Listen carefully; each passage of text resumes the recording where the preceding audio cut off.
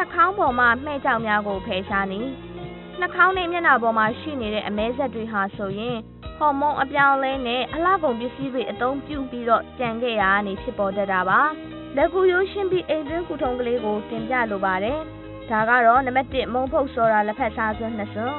ရေအနှဲငယ်ရောသမမှွေလိုက်ပါအမဲဆန်ရှိတဲ့နေရာကိုပုတ်လိမ့်ပါ6အောင်မိနစ်အနှဲငယ်ထားပြီးတော့ရေနွေးနွေးနဲ့ဆေးလိုက်ပါ မုံဖုတ်ဆိုတာဟာဝက်ချံအတွက်ကောင်းပါတယ်နံပါတ်2နောက်တနည်းကတော့ပြားရည်ပါပြားရည်ဟာအစီပြန်တဲ့သားရည်အတွက်ကောင်းပါတယ်ပြားရည်စစ်စစ်ကိုမျက်နှာပေါ်မှာတုပ်လိမ့်ပြီး10မိနစ်ခန့်ထားပါပြီးရင်ရေဆေးလိုက်လို့ရှိရင်ရပါတယ်